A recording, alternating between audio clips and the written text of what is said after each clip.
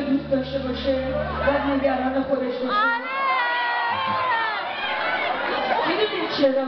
چرا؟ ماما می‌دونید چرا؟ آره! یعنی میگن اگر یک کسی که دوست داشته باشه انقدر دوستش داره نگران خودش رو دفعه نره نره ماما ماما.